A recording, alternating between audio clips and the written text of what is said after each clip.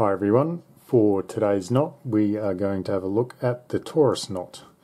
Uh, tied in small stuff like I have here, they make good finger pulls, or if you tied it in larger rope, you could fit your whole hand in there and they'll make a good rope handle.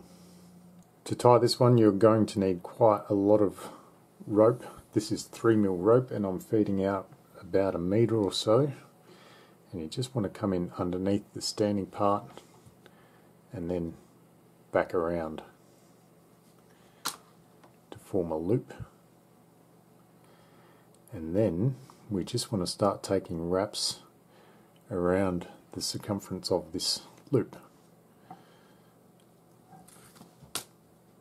So we just start wrapping and then pinch the coils off as you wrap just to keep them nice and tight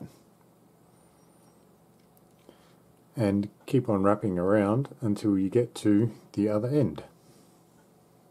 So once we've finished taking our coils we just want to move this upper loop to the termination of these coils and I'm going to tuck my working end down through that upper loop and if the loop is a little bit tight you can open it up just by twisting these coils here.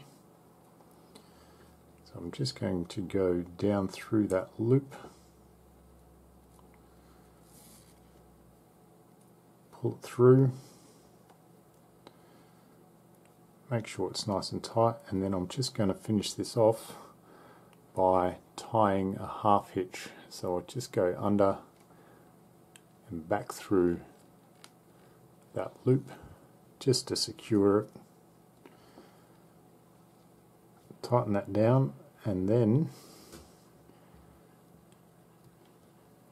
you can cut this tag end off and then if it's out of synthetic rope you can sear it with a lighter.